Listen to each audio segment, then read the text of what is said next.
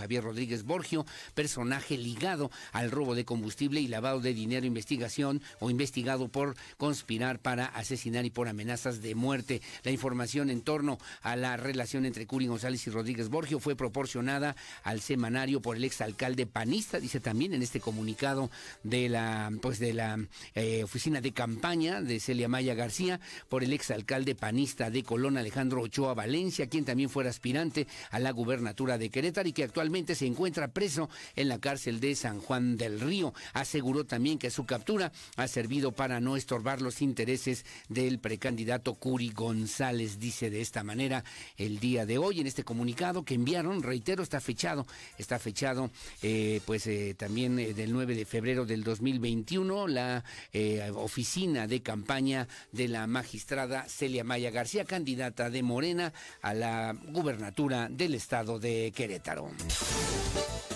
Bueno, gracias. Son las 7 de la mañana con 4 minutos, 7, 4. Y a propósito justamente de estos temas electorales, hoy otro, hay otro que también llamó la atención y que tiene que ver con Morena y que pues fue justamente un regaño, ¿no? Dicen muchos, le, eh, lo vimos en los, medios, eh, un estate quieto de Mario Delgado, el dirigente nacional de Morena, al doctor, al doctor Ángel Valderas Puga. Ángel Valderas Puga, que obviamente también pues ha sido una parte crítica de obviamente lo que tiene que ver justamente con este proceso de elección de los candidatos o candidatos o aspirantes a los diferentes eh, cargos de elección popular en este 2021. Y bueno, pues se generó esta polémica, nos llamó la atención el tono que utilizó Mario Delgado, que dicen puso un estate quieto al doctor Ángel Valderas Puga a propósito de la serie de cuestionamientos, críticas, señalamientos que se han hecho a la forma en la que se eligió a Celia Maya García. Aquí nos los dijo en algún momento también el doctor Ángel Valderas Puga que si realmente Morena, el Comité Nacional, hubiera estado interesado en poder ganar la elección a la gubernatura, pues hubiera postulado a Santiago Nieto Castillo. Y si no, también que señalaba un extraordinario candidato hubiera podido haber sido el doctor Gilberto Herrera Ruiz. Pero no fue así, que ha sido la postura que ha mantenido, digamos, en todo tiempo, en todo momento, Ángel Valderas Puga. Es como también la controversia que generó con Arturo Maximiliano García Pérez, quien, a quien lo señala incluso que está dentro todavía del padrón político electoral del Partido Acción Nacional y hoy quiere ser candidato de Morena, de Morena a la presidencia municipal de Querétaro, así como otros también panistas que anduvieron como diría la abuelita, anduvieron viviendo, sobreviviendo, es que no puedo usar el término porque hay niños, como diría la abuelita, pero que hicieron mucho de lo que tienen hoy por hoy dentro de, eh, además, las supuestas asesorías y situaciones y cosas que hicieron en favor de Acción Nacional en su momento y en su tiempo. Va a ver que hay un candidato allá en Corregidora que es exactamente lo mismo, eh, todo el tiempo, en todo momento, hasta de, de, de, de cosas verdaderamente deleznables allá en Corregidora y que hoy quieren ser, dice también Ángel Valderas Puga, aspirantes o candidatos por Morena, por Morena a algún cargo de elección popular. Bueno, vamos a escuchar primero lo que y el regaño y los comentarios o lo que señaló Mario Delgado, que por cierto señalaba también que el próximo jueves estará en Querétaro de visita, reuniéndose justamente con los militantes y activos de Morena en Querétaro para apoyar a la maestra Celia Maya García.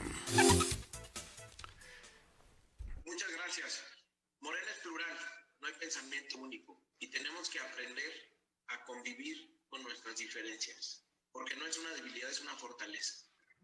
Pero tenemos que respetarnos, tenemos que escucharnos, tenemos que darle a cada quien su lugar. No podemos pedir derechos especiales para un grupo y para otro no, porque no se trata de tener privilegios. Es una gran fortaleza la pluralidad en Morena. Eso, eso no debe espantar eh, a nadie. Y sobre todo, como dices Ángel, los que vienen desde lejos. No hay ingenuidad en la actuación. Ha sido larga la lucha y sabemos las trampas de la derecha. Bueno, ahí está lo que señalaba ya Mario Delgado, el dirigente nacional justamente de Morena, a propósito de esta situación que tiene que ver obviamente con la elección que se vivirá aquí en Querétaro. Las 7 de la mañana con 8 minutos. Bueno, también en información electoral le comenta usted que el Partido de Acción Nacional en Querétaro presentará candidatos de altura de lo que hoy por hoy requiere el Estado de Querétaro frente al actual escenario de salud y económico que vive el Estado de Querétaro. Le debo referir a usted, el Partido Acción Nacional estará a la altura de las circunstancias, por lo que también su comisión permanente elegirá a las mejores propuestas y a las y a los mejores candidatos para representar a los queretanos frente a las elecciones del 2021. Así lo aseguró el secretario general de ese partido, Martín Arango, precisó también en conferencia de prensa virtual, que dijo que los integrantes de esa comisión realizarán un análisis exhaustivo para saber quiénes son las personas que tienen el rumbo claro y que, por cierto, han demostrado trabajo, resultados. Hoy día, en el Partido Acción Nacional, tienen la obligación de darle a las y a los queretanos la mayor certeza posible para afrontar los retos actuales rumbo al 2021. También así lo dijo, lo hizo saber Martín, Martín Arango, él es el secretario general del Comité Estatal del PAN.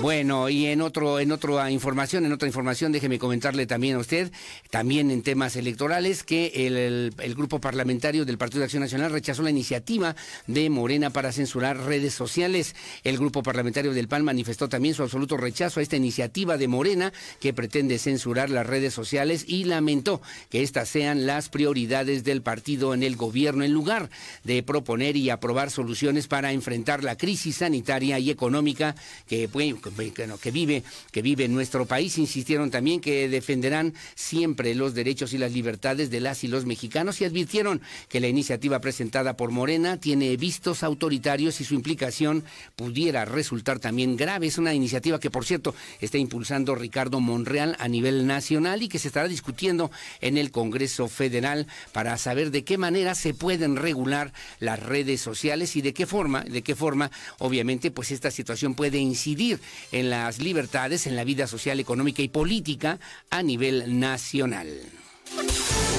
Bueno, finalmente también en este bloque informativo, cuando son las 7 de la mañana con 10 minutos, Abigail Arredondo, la precandidata del PRI a la gubernatura del Estado, reiteró también que Querétaro merece y necesita políticos cercanos, empáticos, accesibles a la realidad en que vivimos. Abigail Arredondo también, eh, precandidata del PRI a la gubernatura del Estado, reiteró también que en este periodo de precampaña, militantes y simpatizantes le han eh, compartido que se requiere de acciones y propuestas diferentes. La situación que se vive hoy en Querétaro es crítica y lo que demanda con más frecuencia son temas económicos, destacó también la aspirante, la precandidata a la gubernatura, que por cierto el próximo viernes, como lo dijo también en este mismo espacio informativo, el próximo viernes tomará protesta ya como candidata, ya la propuesta formal de parte del Partido Revolucionario Institucional para la candidatura a la gubernatura del estado de Querétaro.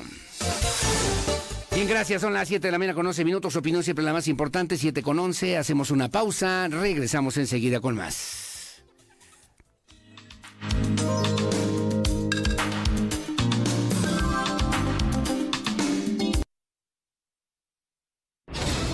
Querétaro 24-7. 24 horas los 7 días de la semana de información y música. Querétaro 24-7. Sigue nuestras redes sociales, Facebook, Twitter, Instagram y YouTube Querétaro 24, diagonal 7. Querétaro 24, 7.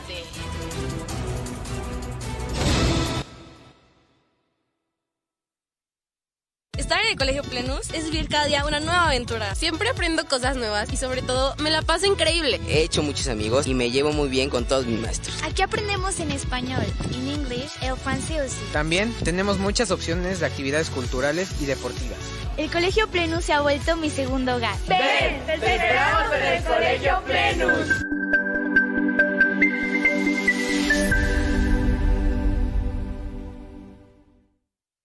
Mixco Coworking Querétaro. Un concepto innovador para el desarrollo de tu negocio o empresa. Estaciones fijas, oficinas privadas, sala de juntas y servicio de cafetería con un diseño funcional y estético. A cinco minutos del centro de Querétaro. Comunidad, creatividad y compromiso, Mixco Coworking Querétaro. 394-8203 o síguenos en Facebook a través de Coworking Querétaro, Camino rumbo al éxito.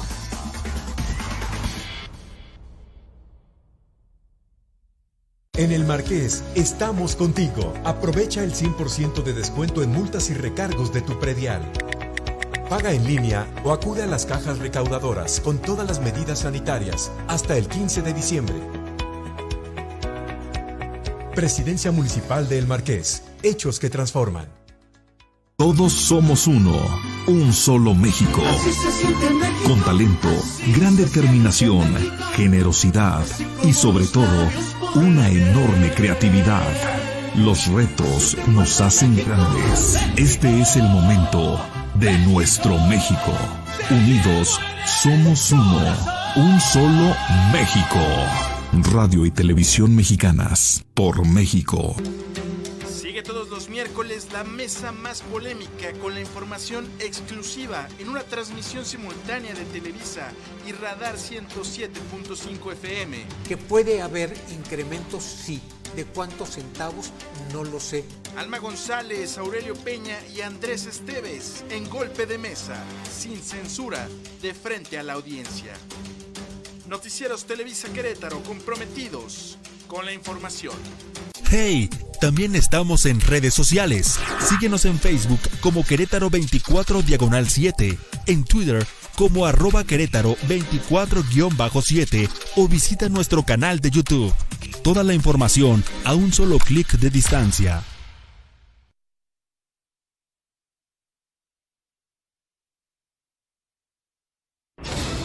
Querétaro 24-7. 24 horas los 7 días de la semana de información y música. Querétaro 24-7. Sigue nuestras redes sociales, Facebook, Twitter, Instagram y YouTube. Querétaro 24 Diagonal 7. Querétaro 24-7.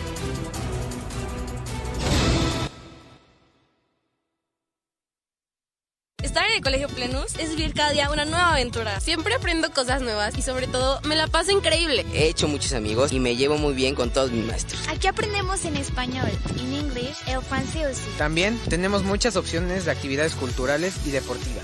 El Colegio Plenus se ha vuelto mi segundo hogar. Ven, te esperamos en el Colegio Plenus.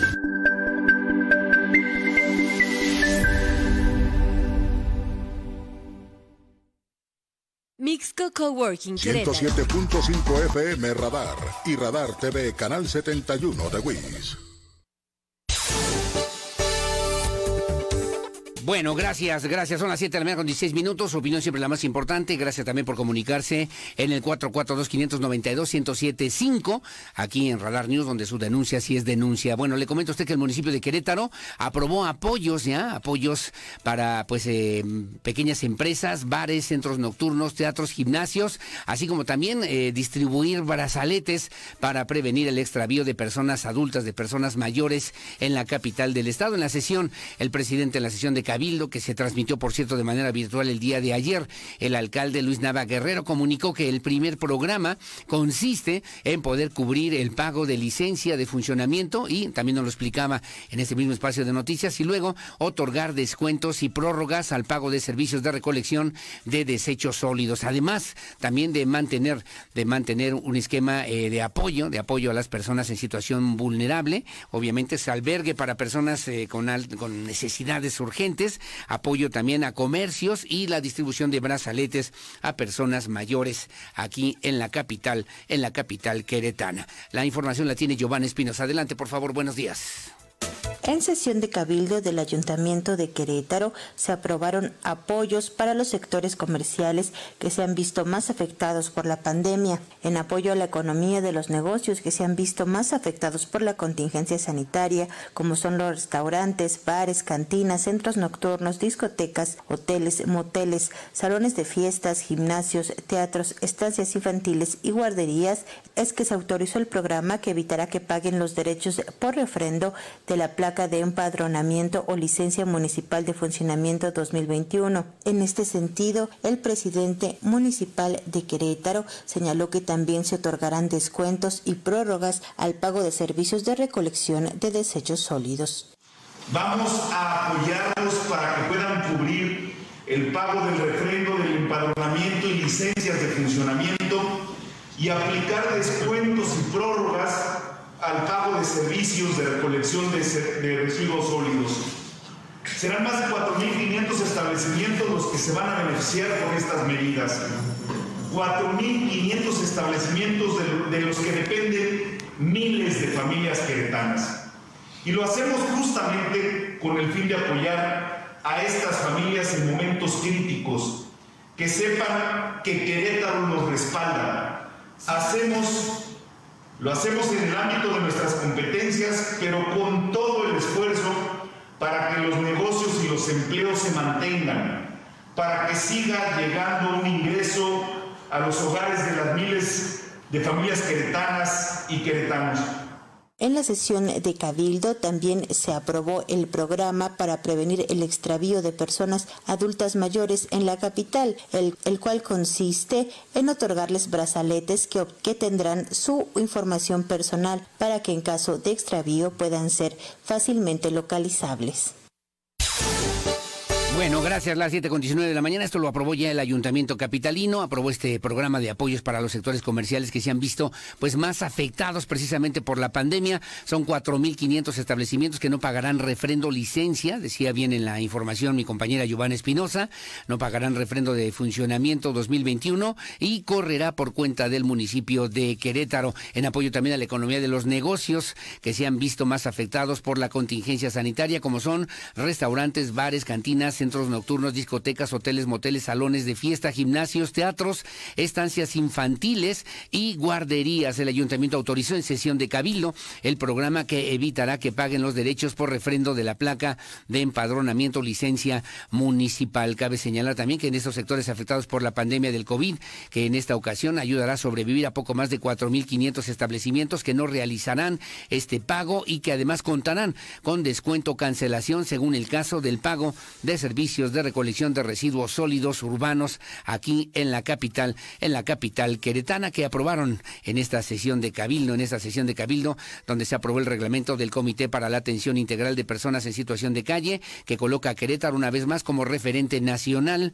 en la atención de dicho sector. También se aprobó la reestructuración de la Secretaría de Cultura y su reglamento interior. Y por otra parte, las y los regidores autorizaron la adopción de protocolos para el personal operativo adscrito a la Secretaría de Seguridad Pública Municipal, así como el protocolo para la asignación y uso de brazaletes de identificación de personas adultas mayores con alteración asociada a la pérdida de memoria. Si usted eh, también todavía quiere incorporarse justamente a este esquema, hay una clave también importante para que usted se ponga en contacto y pueda atender esta situación, sobre todo para la convocatoria en la solicitud de brazaletes en el 442-427-6700, extensión 40 4905, 4905, aquí en el municipio de Querétaro.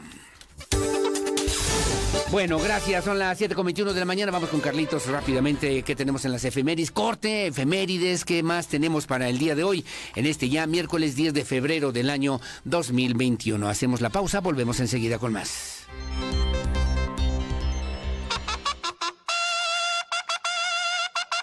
10 de febrero. 10 de febrero.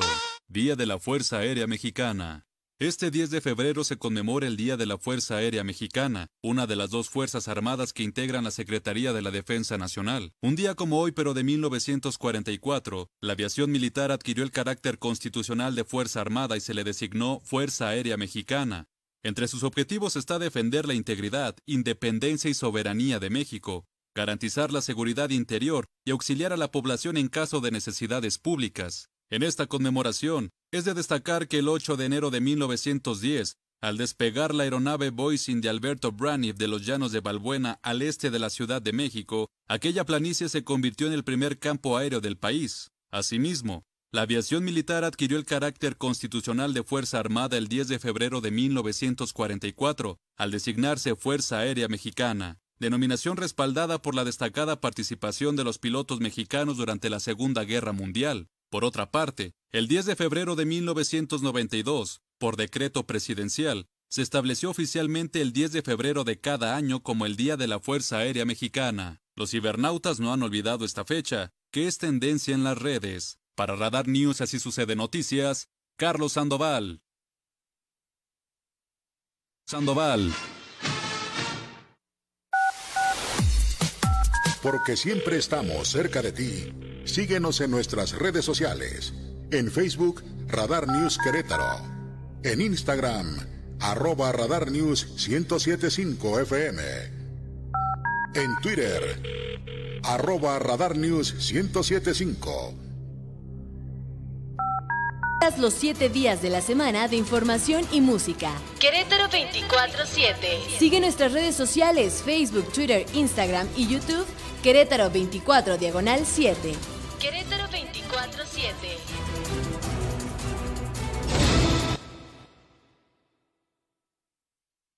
Estar en el Colegio Plenus es vivir cada día una nueva aventura. Siempre aprendo cosas nuevas y sobre todo me la paso increíble. He hecho muchos amigos y me llevo muy bien con todos mis maestros. Aquí aprendemos en español, en inglés, el francés. También tenemos muchas opciones de actividades culturales y deportivas. El Colegio Plenus se ha vuelto mi segundo hogar. Ven, te esperamos en el Colegio Plenus.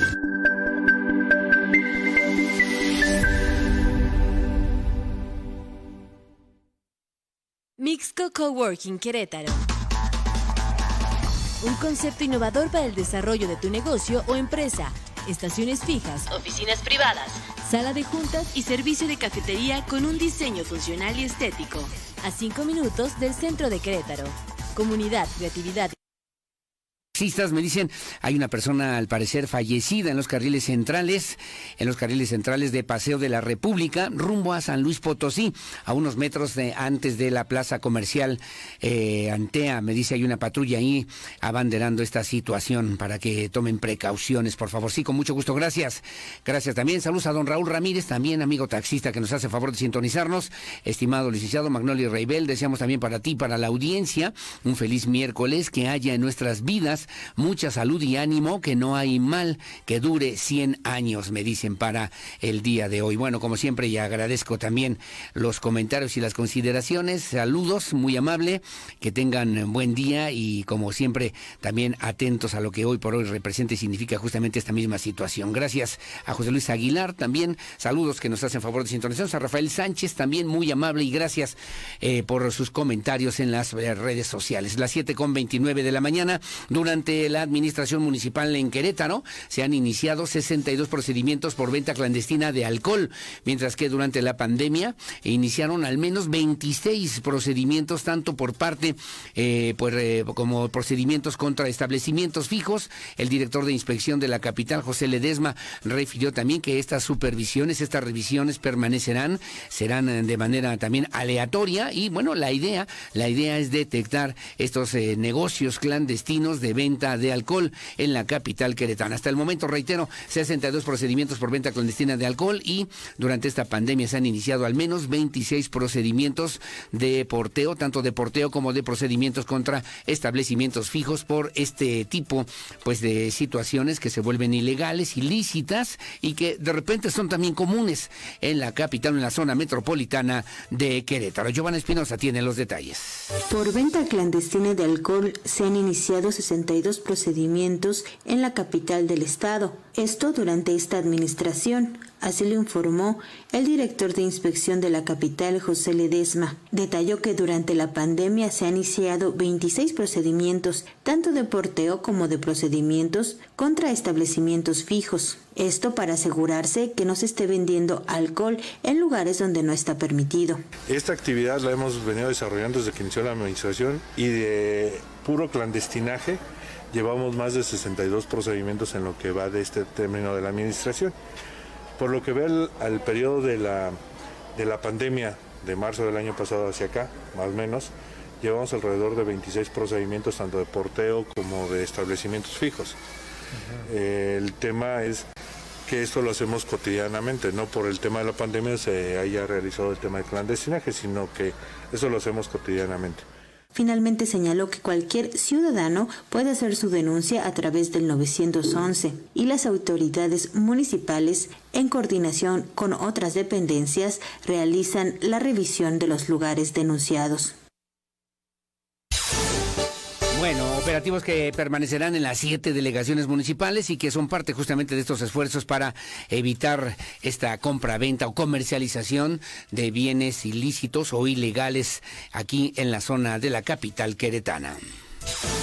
Gracias, las 7 con 31 de la mañana. Por cierto que Paloma Arce, pues eh, se dio a conocer ayer en los medios de comunicación lo que podría ser eh, justamente una terna para ocupar esta mm, posición importante que tiene que ver con la entidad superior de fiscalización, que depende, por cierto, eh, depende de manera indirecta en el Congreso del Estado. Es un órgano independiente, pero que obviamente pues resuelve estas situaciones de observancia, de, rendición de cuentas, de transparencia y de pues mirar ¿no? Con detenimiento cómo están las cuentas públicas en los 18 ayuntamientos. La coordinadora del Grupo Legislativo de Morena reprobó la terna propuesta por la Junta de Concertación Política para elegir al titular de la entidad superior de fiscalización del Estado. Señaló que al no existir transparencia para la elección es que no acudió a la Junta de Concertación Política del Congreso del Estado y adelantó el voto en contra justamente del grupo legislativo del grupo legislativo de Morena ante esta propuesta que han motivado, que han generado las fuerzas eh, políticas, eh, tanto del PRI como del PAN,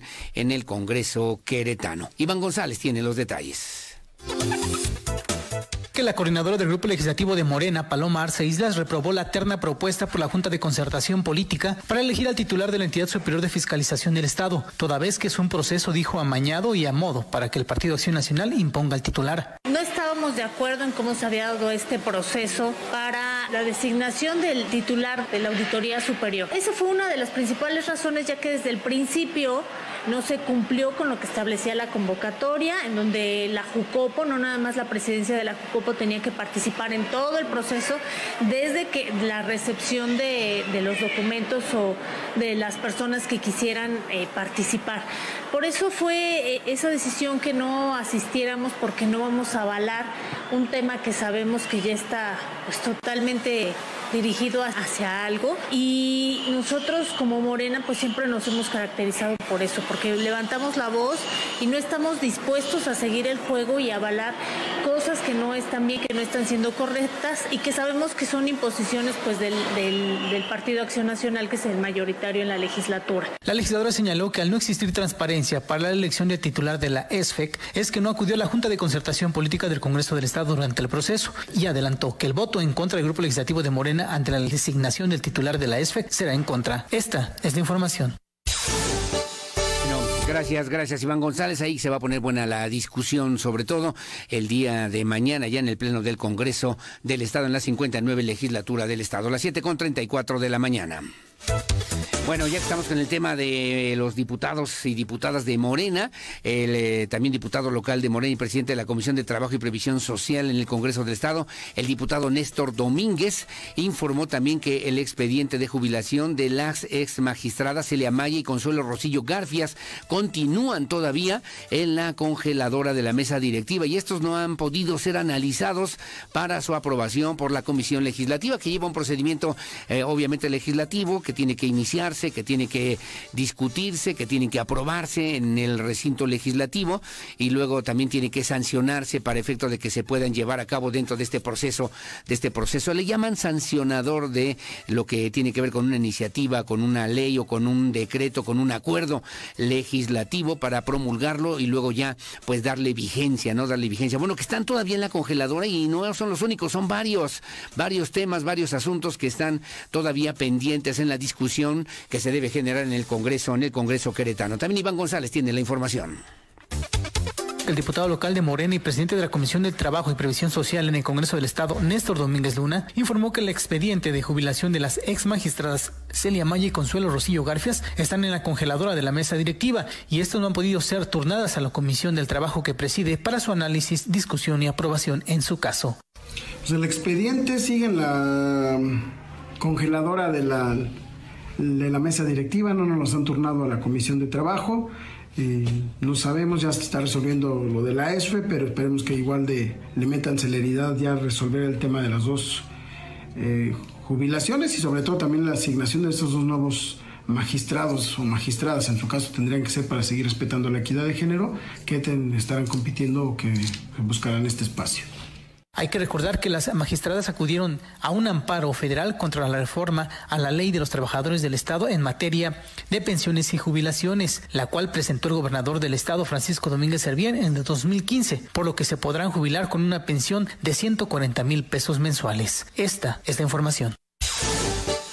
Bueno, gracias. Las 7.36 de la mañana. Le comento también a usted que la Canidad, la Cámara Nacional de la Industria Restaurantera y Alimentos Condimentados, la Canidad que en Querétaro y a nivel nacional, por cierto, en este reconocimiento, otorgó el premio al mérito restaurantero al, eh, pues al empresario, al empresario queretano Josecho. Parecía que fue recibida también por el empresario José Antonio González Piñuela, mejor conocido como Josecho. Esto en la categoría de Antonio Ariza Cañadilla, también de comida de especialidad extranjeras, el presidente también de Canirá Querétaro, Octavio Mata Rivera, junto con el secretario de Turismo en el Estado, Goburgos García, entregaron esta presea, haciendo un especial reconocimiento a este establecimiento queretano con más de 40 años de ser una tradición culinaria y que ha sido considerado uno de los 100 mejores restaurantes de la República Mexicana al recibir diversos premios, tanto nacionales como internacionales. La premiación se realizó de forma privada y con todas las medidas de sanidad para prevenir contagios de COVID-19 en el restaurante La Laborcilla, eh, contando con la presencia del vicepresidente de Canirá Querétaro, eh, Garabet eh, Nariniani, además de el vocal Israel Coronado, el presidente de la Asociación Queretana de Hoteleros, Ignacio Jaimes, y el presidente de la Asociación de Hoteles Boutique en Querétaro, Isaac de esa. Cabe señalar que estuvieron acompañando también al presidente, el presidente de Discotecas, Bares y Entretenimiento en Querétaro, Emilio Lugo, el presidente de la Asociación de Guías de Turistas, Aarón Trejo Heredia, entre otras personalidades, el secretario de Turismo Hugo Burgos García, que ahí se ve también en la imagen junto con eh, Josecho, pues eh, reiteró también y felicitó al restaurantero galardonado y en especial a la familia González Piñuela. Este es un gran reconocimiento a toda una trayectoria dentro de la industria gastronómica y al esfuerzo cotidiano de una persona que ha logrado marcar un ícono para Querétaro, reiteró el secretario Hugo Burgos García. Bueno, gracias. La 7 de la con 38 minutos, 7.38. Gracias, saludos a Eder Maciel. Un abrazo, saludos, qué bueno que están bien. Saludos a Carmen, saludos a la familia, también que nos hacen favor de sintonizarnos, atentos y al pendiente también en estas diferentes situaciones, sobre todo que tiene que ver con el desarrollo del transporte público, me dice Eder Maciel. Ojalá que también los que aspiran a gobernar Querétaro tengan una referencia puntual y concreta en el tema de lo que tiene que ver con las plataformas digitales aquí en el estado de Querétaro. Muy amable, gracias también a don Pedro Alberto Rodríguez. No se hubiera molestado, don Pedro, de verdad, de verdad. Muchísimas gracias, Alejandro Guillén, también muchas gracias. Que tengan buen día. A mi amigo, colega periodista Andrés González Arias, también muchas gracias. Que les vaya perfectamente bien hoy y siempre. Y como todas las mañanas también, gracias al secretario Julio César Ramírez Argüello, que me hace favor de enviarme una información importante que tiene que ver con el balance, ¿no? De lo que va, lo que va hoy Querétaro en la lucha contra el COVID-19. Las 7.39, la pausa, regreso enseguida con más.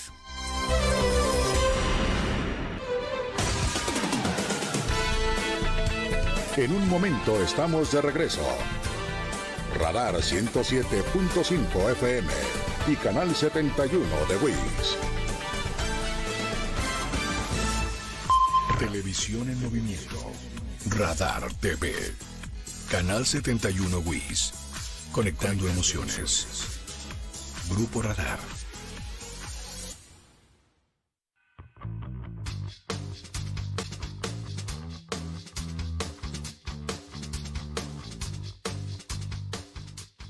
La influenza es producida por un virus, el cual causa muchos síntomas parecidos a los de un resfriado común, como escurrimiento nasal, congestión y estornudos. Pero en la influenza, además podemos padecer de dolor de cabeza, tos de mayor intensidad y fiebre por arriba de 38 grados.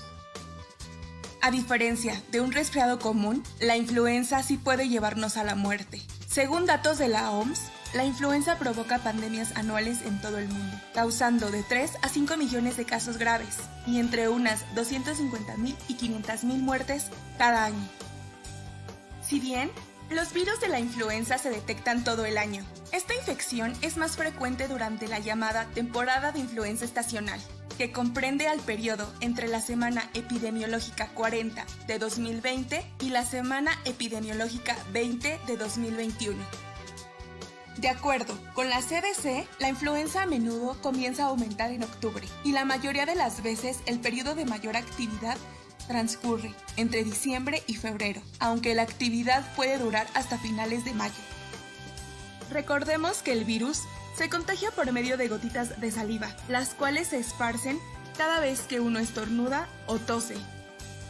Las medidas de prevención para evitar el contagio por el virus de la influenza son muy parecidas a las de la actual pandemia por COVID-19. Por ejemplo, cubrirse al toser o estornudar, lavarse las manos constantemente, limpiar superficies, quedarse en casa al presentar síntomas y el uso de cubrebocas.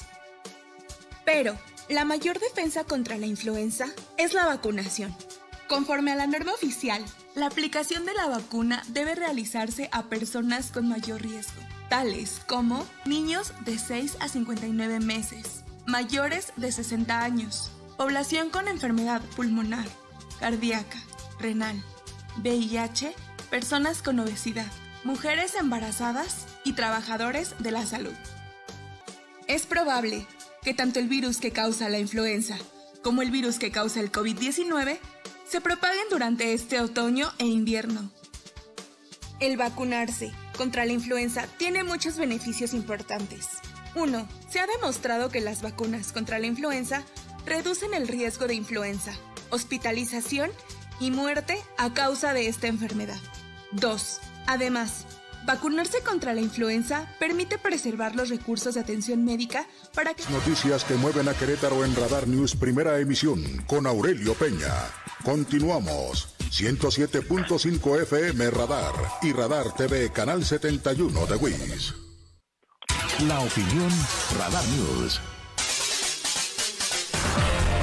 Bueno, como siempre, muchísimas gracias. Son las 7 de la mañana con 43 minutos. En la línea telefónica está el diputado Agustín Dorantes Lambarní. Además, él es el presidente del Comité Directivo Estatal del Partido Acción Nacional. Pero hay un tema, un tema que me llama la atención y que tiene que ver con una propuesta que, está, que están eh, realizando a nivel nacional, justamente, y que tiene que ver con la necesidad de regular, de controlar los, eh, pues los contenidos, las formas de las redes sociales o de las plataformas eh, digitales, que obviamente representan y significan pues una forma de comunicación, de comunicación no solamente a nivel local, sino también a nivel internacional, muy, muy importante y que tendría, digamos, si usted me lo permite, directamente que ver con el tema del uso responsable de la información y el uso responsable de nuestras propias libertades. Mi querido diputado, mi querido Agustín Dorantes, ¿cómo estás? Muy buenos días.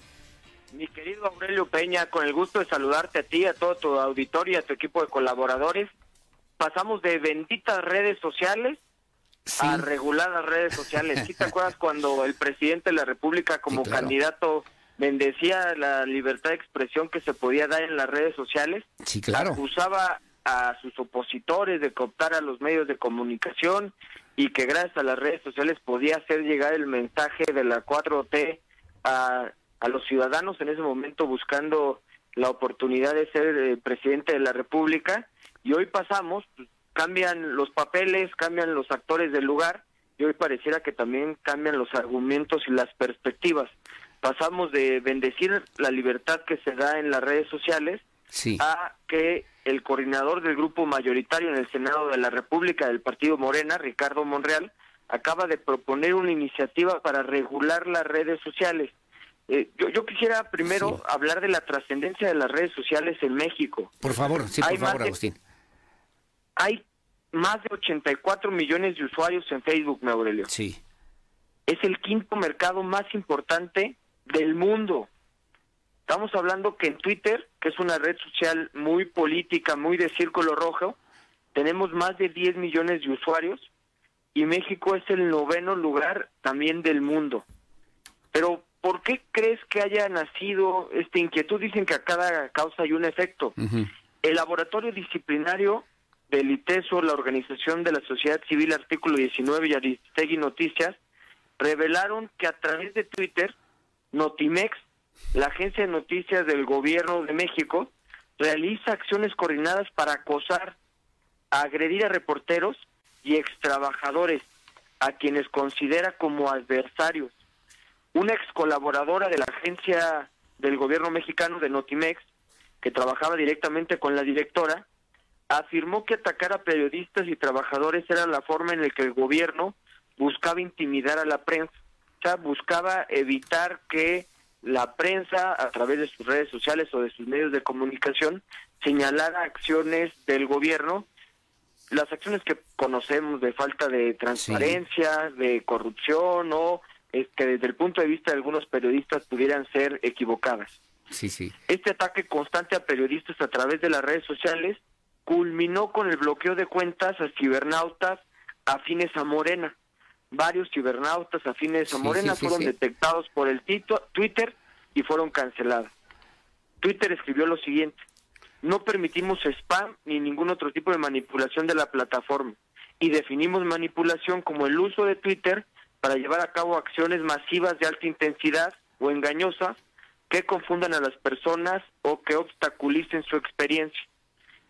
¿Qué es lo que está buscando Morena? Que haya una regulación a estas empresas privadas, una sobreregulación por parte del gobierno mexicano y que en caso de que estas empresas decidan censurar este tipo de cuentas, puedan ir a una instancia gubernamental más y así evitar que estas cuentas sean censuradas. Al parecer lo que buscan es descongelar las cuentas para que en el proceso electoral que viene tengan su ejército digital listo y de esta forma puedan influenciar en la opinión pública a través de las redes sociales. Claro. Ahora, ¿se vale, se vale que un privado, que fue, como tú bien lo comentas, después de lo que pasó el pasado 6 de enero allá en los Estados Unidos y después de los comentarios que hizo el mismo presidente López Obrador en torno a, pues, a que, Twitter y Facebook también habían cancelado las cuentas del expresidente ahora norteamericano, ¿se vale que un particular quiera, pueda, pretenda regular este tipo de contenidos, de información que también debe circular en las redes sociales, mi querido Agustín? ¿Cuál es la postura? ¿Cuál es la postura de ustedes? ¿Cuál es la postura del grupo legislativo que tú representas? Mi, pregunta sería, ¿se vale que a través de otros medios de comunicación el gobierno mexicano pueda regular, pueda decidir qué se va a decir, como se hacía hace algunos años, al parecer quisieran que nos regresáramos a los años eh, 50, años o, 60, donde antes de que salieran los noticieros, este, se regulaba qué es lo que iban a decir los distintos los distintos opinólogos que aparecían en los medios de comunicación. O sea, yo creo que la libertad de expresión no debe ser regulada por las autoridades mexicanas. Sí, lógicamente, si se comete algún tipo de delito, si se comete alguna difamación, deben de tener consecuencias, pero decir que este tipo de eh, declaraciones no tienen una consecuencia porque son vertidas en las redes sociales es falso. Sí, claro. ¿Qué quiero decir? Si hoy alguien difama a través de las redes sociales, pues, el delito de difamación se está cometiendo y deberá ser perseguido, aún sea este expuesto en redes sociales, a través de medios de comunicación o por algún otro medio de, difusión masiva que se tenga alcance. Oye, ¿Qué quiero decir con esto? Que sí están regulados, pero además cada empresa privada, como es Twitter, como es Facebook, como es Instagram, hay que recordar que son plataformas privadas que se hacen contratos de adhesión en el momento en el que uno se suscribe a estas redes, que estos contratos deben ser revisados por la autoridad federal. Hay una autoridad federal que revisa los contratos y los valida. El Y a través de estos contratos, este, eh, que ya están previamente validados, uno este, autoriza a estas redes sociales a cumplir las reglas que ellas mismas suscriben. Oye, lo que pasa, yo leí algunas opiniones de expertos especialistas en la materia y hay dos versiones que me parecen importantes e interesantes. Primero, en la regulación de Facebook, de Twitter, de Instagram, de TikTok, por ejemplo, pues es un, un espacio donde la gente, los ciudadanos, cualquiera, puede poner exactamente lo que se le ocurra, lo que se imagine, lo que considere, considere y muchos, y este es el punto y ese es el tema, pues muchos lo consideran como algo válido, algo verdadero y segundo, que me parece, salvo tu mejor opinión, mi querido, mi querido Agustín Dorantes Lambarri, es un esquema de libertad ciudadana de las personas o de los seres humanos mínimo, porque está a la altura, al alcance de cualquier teléfono, de cualquier persona, de millones, como tú bien comentabas, 84 millones de mexicanos tan solo, por ejemplo, en estas redes sociales, y que pues tienen la libertad y el derecho de poder opinar, decir, comentar, señalar, eh, hasta enjuiciar en un momento determinado, en su propio criterio, lo que se le ocurra y lo que consideren también eh, en un momento determinado. Y esto genera pues una nueva discusión en torno al tema de la libertad de expresión, mi querido Agustín Dorantes, ¿no? Definitivamente yo soy de la postura que debemos libertar, debemos defender bajo cualquier costo la oportunidad para que cualquier persona se pueda expresar a través de los medios de comunicación a su alcance. Esto sin agredir a terceras personas y en caso de que incurra en un delito, en una falta por agredir, por difamar, por mentir, pues ya son otro tipo de consecuencias. Te voy a poner un ejemplo muy específico. Los partidos políticos decían que las redes sociales eran una selva que no estaba regulada. Hoy es una de las más reguladas. En cuanto tú subes una publicidad, Facebook de forma a través de Facebook Transparency te dice cuánto está gastando qué persona en qué publicación. O sea, hoy Facebook es más transparente que muchos de los otros medios, que para poder solicitar la información la tienes que hacer a través del Instituto Electoral. En caso de Facebook no, cualquier persona puede entrar a la página del partido político, del candidato y puede ver cuánto está gastando en todas sus redes o en cualquiera de sus publicaciones. ¿Qué quiere decir con esto?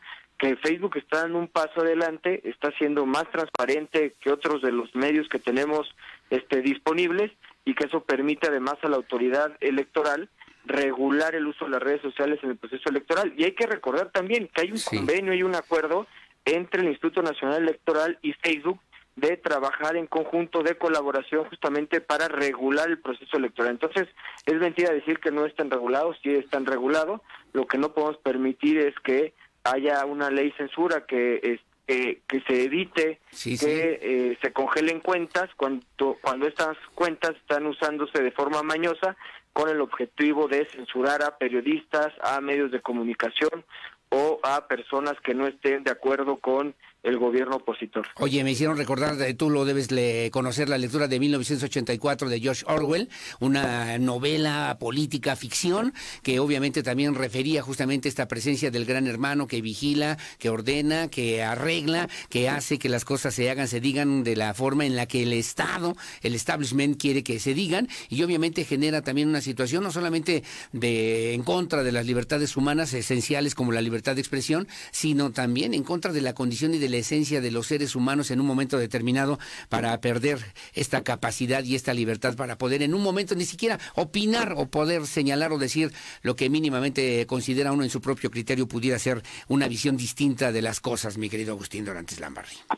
completamente de acuerdo, Meuli. Solo pensar en qué países tiene regulaciones en las redes sociales, te voy a poner dos ejemplos, China y Corea del Norte, Sabemos que cuando se hacen estudios por parte de organizaciones de la sociedad civil en cuanto a su democracia y su sistema de libertades, son de los países peores calificados. Cuba, China, Corea del Norte. Sería un error caminar hacia ese lado de la historia.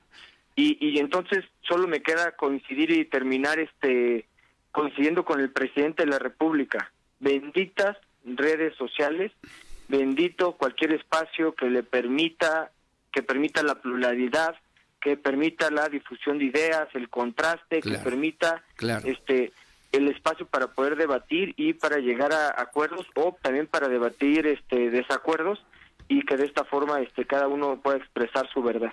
Bueno, pues como siempre, gracias Agustín Donante Lamar. ¿Y cómo te pueden ubicar? ¿Dónde hay un número telefónico para que se comuniquen contigo? ¿Cuál sería? El 4422 sí. 26 1002.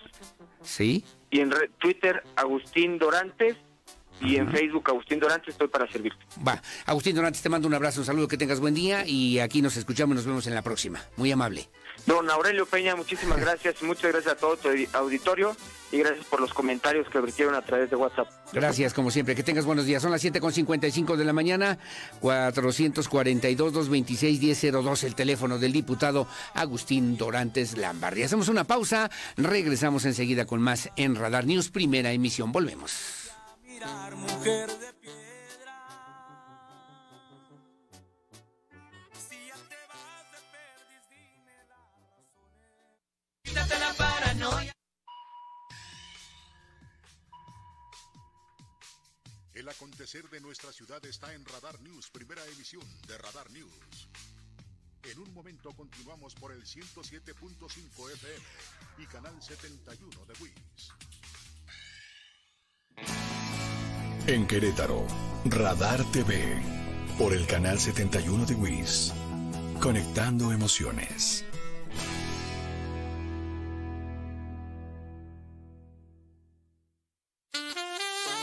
Este 2021, el mes del amor, llegó a Radar de Flechazo. Gana el Combo Crush, exclusivo radar. Playeras edición especial de San Valentín. Cojines, diseño puro amor. O comidas para disfrutar en pareja o con los amigos. Solo sigue escuchando el 107.5 FM. Tus locutores te dirán cómo ganar. Combo Crush, 107.5 FM. Este 2021 somos tu radar los temas más importantes de la agenda informativa y el análisis de los especialistas en golpe de mesa, en transmisión simultánea Televisa Querétaro, Radar TV y Radar 107.5, lo esperan este miércoles a las 8.30 de la noche. Como invitado el presidente del Instituto Electoral, Gerardo Romero Altamirano.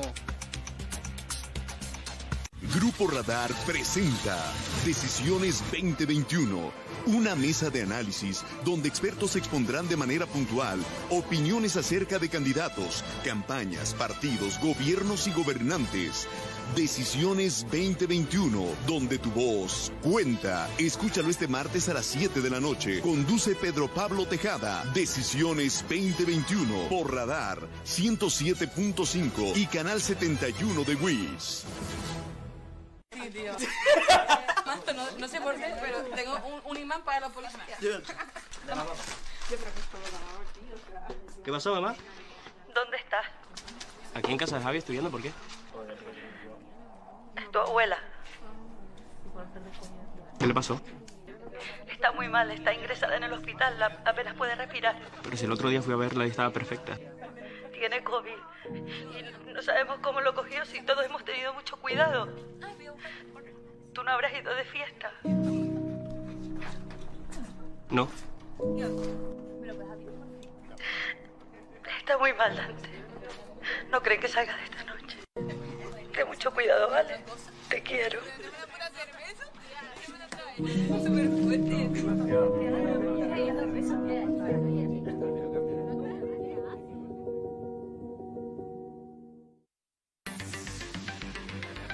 El mundo deportivo. Encuéntralo en Radar TV, Canal 71. Conectando emociones. Grupo Radar.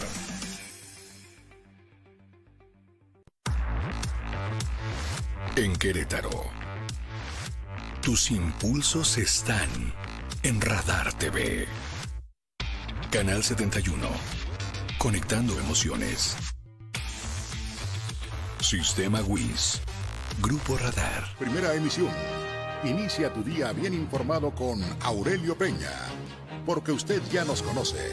Regresamos por Radar 107.5 FM y Canal 71 de WIS.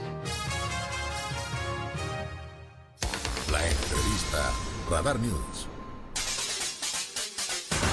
Bueno, gracias. Las 7.59 de la mañana. Déjeme comentarle también a usted que el día de ayer el alcalde Luis Nava se refirió a la necesidad de seguir rescatando los espacios públicos para el bien de la comunidad aquí en la capital del estado. Se entregó el parque de la colonia Las Plazas. Es el parque número 25 de 27 que ofreció al principio de su administración. Luis Nava también estuvo acompañado de los vecinos de esta colonia Las Plazas para hacerles entrega de la rehabilitación de su parque, el cual es parte, justamente le decía yo, de estos 27 parques que se estarán rehabilitando y entregando en esta administración municipal en beneficio de la convivencia familiar, obviamente de la práctica deportiva y del mejoramiento de las áreas verdes de todo el municipio. Luis Nava también informó que solamente restan dos parques más por ser entregados y que esta labor busca precisamente dar respuesta a las inquietudes de las y los queretanos de contar con espacios que también ayuden, que permitan la recomposición del llamado tejido social de una mejor calidad de vida para todos y para todas durante la participación estuvo la secretaria de Servicios Públicos Municipales, con quien nos estamos ya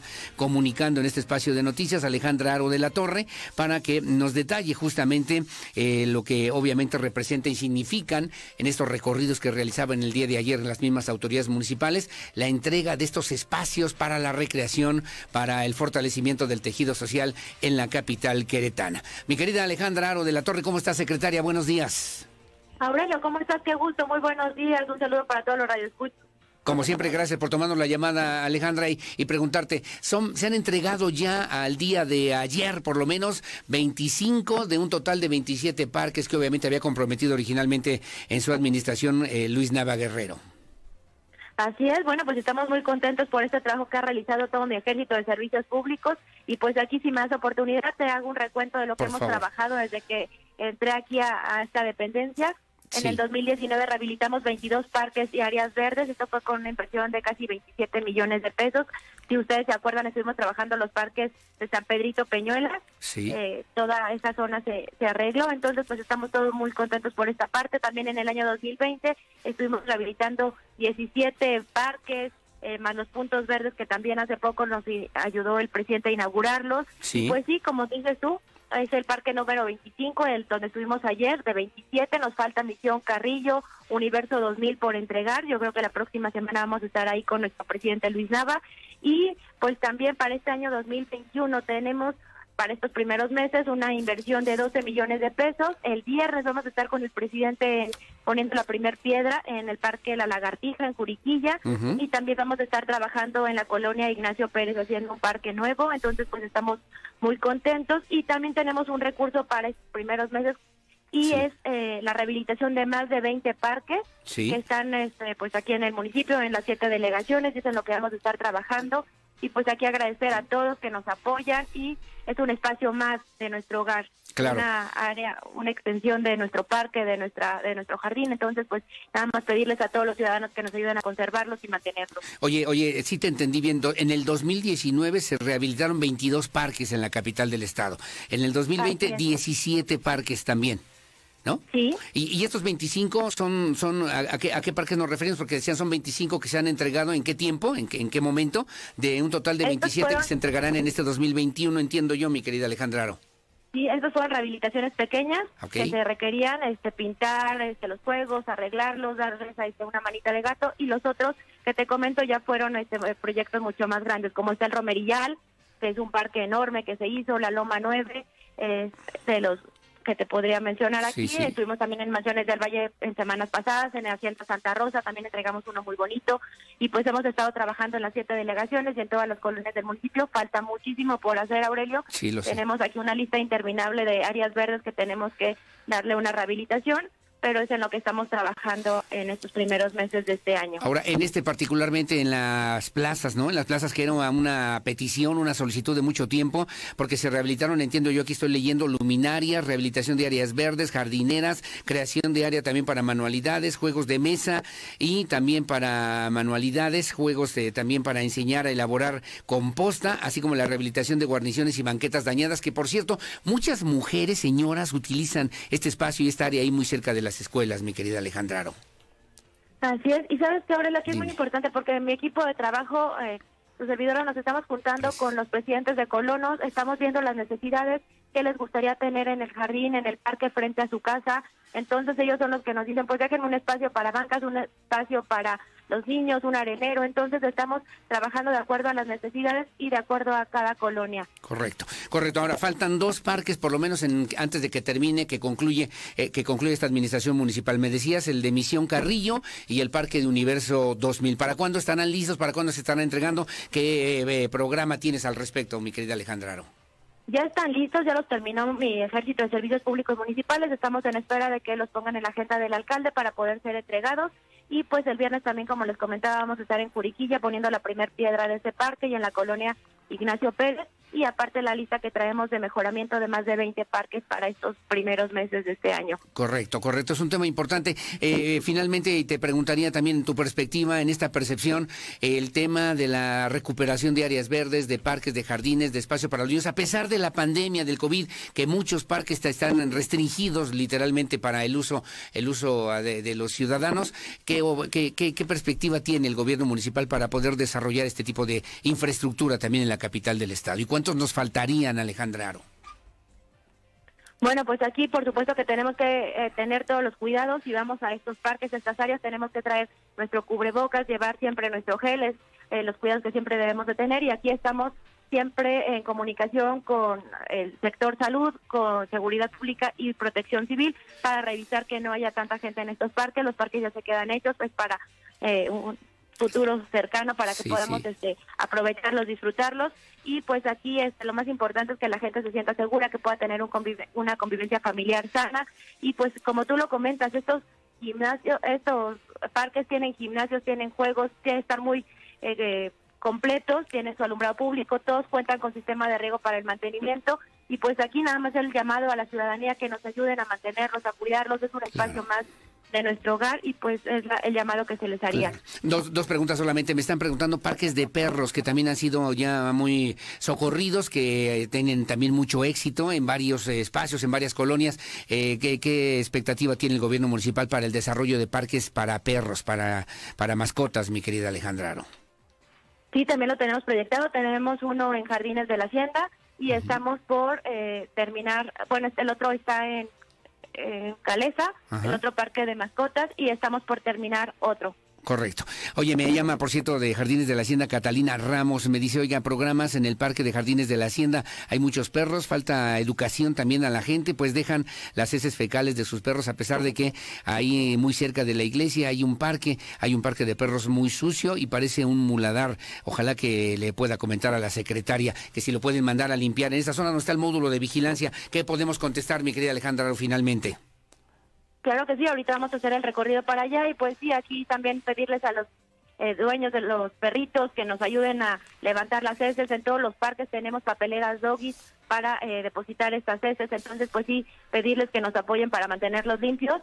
Es por la seguridad de todos y pues ahorita vamos mi gran ejército y yo a revisar personalmente estos parques. Te lo agradezco. Y además, deja de decir, te lo voy a decir al aire también, ¿eh? Te agradezco todas las consideraciones, la atención también de tu equipo.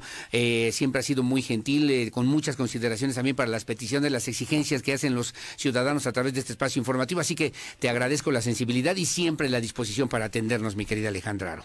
Muchas gracias. Aurelio, muchísimas gracias. Estamos pendientes a través de nuestras redes sociales tienen nuestros teléfonos para que se comuniquen con nosotros para cualquier petición. Bueno. Les agradezco mucho y estoy a la orden. Gracias, gracias Alejandra Aro de la Torre, la secretaria de Servicios Públicos Municipales. Ahí lo tiene usted, 25 parques. Revisaba yo y estaba yo apuntando justamente, faltan dos, el de Misión Carrillo, que próximamente se estará entregando, y también el de Universo 2000, que son parte de los eh, compromisos, ¿no? Que asumió al principio de esta administración el alcalde Luis Nava Guerrero. Tan solo en el 2019 se rehabilitaron menor, de menor manera, si quiere usted pero 22 parques, eh, en, el 2020 17 y ahora a partir de esa fecha van eh, pues 25, 25 parques que obviamente se estarán recuperando, rehabilitando para la mejor convivencia de las familias aquí en Querétaro. Las 8 de la mañana con 8 minutos.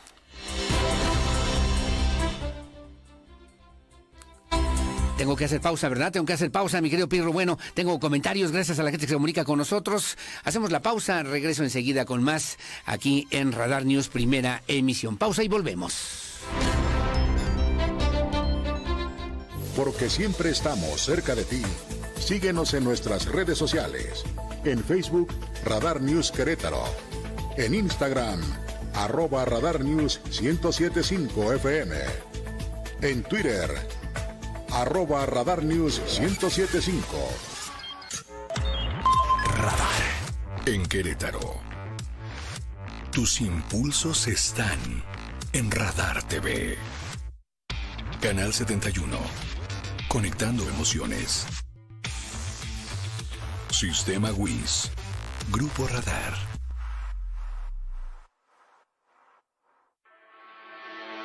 En las palomitas de esta semana te presentamos dos películas y un cortometraje que te harán abrir tu corazón y reflexionar acerca de diversos temas. Palomita número 1. Dalia sigue aquí. Ya faltan muy pocos meses para que se lleven a cabo los premios Oscar. Y en definitiva, algo que me fascina ver es a mi país representado por material audiovisual impresionante. Y parece ser que el 2021 no será la excepción. Dalia sigue aquí. Es un cortometraje animado que por medio de la ternura se reflejan temas muy crudos que desgraciadamente viven más de 40.000 familias en México.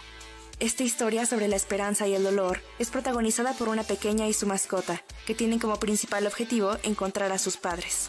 Sus creadores, los docentes Nuria Menchaca y Carlos Isaac, logran combinar de una manera muy bella la animación y el periodismo gracias al propio estilo tan único que tiene el corto. Por ejemplo, juega con el tiempo de una manera muy poética representado por las propias hojas del periódico.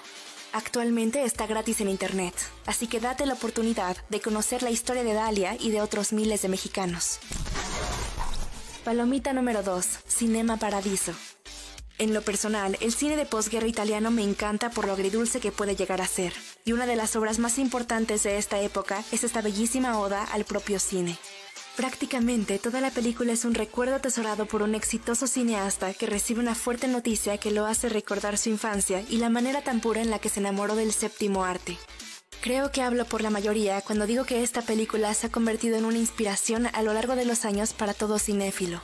Cinema Paradiso está hecha para disfrutarse con el corazón y dejarte llevar para recordar cuál es tu esencia y no dejar de lado aquello que te hace sentir vivo. Es un largometraje perfecto desde las actuaciones y el guion hasta la banda sonora, la cual estuvo a cargo del maestro Ernio Morricone. No está de más mencionar que en 1990 su director Giuseppe Tornatore levantó el Oscar a Mejor Película Extranjera por este proyecto. Palomita número 3, 1917. Si eres seguidor de los premios cinematográficos, entonces seguramente reconoces esta película dirigida por Sam Mendes por ser multipremiada el año pasado. Este largometraje son dos horas de estar al borde del asiento, esperando qué es lo siguiente que le sucederá a un par de soldados británicos que emprenden un largo viaje con el objetivo de salvar a 1.600 hombres. Es una forma de narrar la Primera Guerra Mundial desde una perspectiva que no se había visto antes. Los efectos y las actuaciones son excelentes, pero sin duda alguna, uno de sus mayores atractivos es la fotografía. Todo está diseñado para simular que no existen cortes y que toda la película es en una sola toma. Yo soy Diana. Las noticias que mueven a Querétaro en Radar News, primera emisión, con Aurelio Peña. Continuamos. 107.5 FM Radar y Radar TV, Canal 71 de WIS. Bueno, gracias. Las 8 de la mañana con 12 minutos, 8.12. Me dice don Jorge Ayala, también deberían revisar el parque de carretas. Está muy bonito, pero también de repente está muy sucio y dejan el corte que hacen, el corte de árboles y de poda, y lo dejan de repente muchos días en esta zona de el, eh, del jardín de de Carretas, o del parque mejor conocido de Carretas, ¿no? Gracias Alex Martínez, un saludo muy amable y gracias también por escucharnos. Cuando un gobierno es corrupto, sus obras las hace entre semana y a mediodía, me dice, es una frase de Edith Abbott, sí o no. Saludos, estimado amigo, saludos, mi querido Alex Martínez. Gracias eh, por el comentario y gracias también por escucharnos como todos los días. Alejandro Altamirano también muy amable. Me dicen acá en, en nuestro WhatsApp también, muchas gracias. A ver el día de hoy. Eh, me comentan también, oiga, soy Enrique, oiga, lo del comercial también de pie de la cuesta, al parecer suena como a los que los automovilistas tenemos la culpa de los muertos y de los accidentes y eso es después de que se denuncia su mal trabajo que hicieron, se pasan, ay, ojalá que se pueda hacer algún debate sobre estos temas. Sí, con mucho gusto, muy amable, don Enrique, saludos, atropellado el 5 de febrero, dirección San Luis Potosí, a la altura de Ante, ya lo habían comentado también para que tomen ustedes sus precauciones, utilicen, utilicen la lateral, también me comentan para avisar que en Paseo de la República, pasando el restaurante Sabe, sobre carriles centrales hay una persona atropellada. Lamentablemente, patrullas están deteniendo el tráfico para que utilicen carriles laterales. Y si usted va a viajar hacia la ciudad de Querétaro, también tome sus precauciones, tome las precauciones adecuadas, obviamente que se requieren ante esta cuestión, ante esta situación que ya me están dando a conocer y que ya están ahí las autoridades de la Secretaría de Seguridad Pública Municipal y de la Secretaría de Seguridad Ciudadana. A las 8 con 14 de la mañana. Bueno, vamos a los deportes. Estamos listos, mi querido Víctor Monroy. Te saludo con muchísimo gusto, amigo. ¿Cómo estás? Muy buenos días. Adelante con tu información. Goles, estadísticas, pasión, victorias, empates, derrotas y todo lo que acontece en el mundo deportivo con Víctor Monroy en Radar Sports.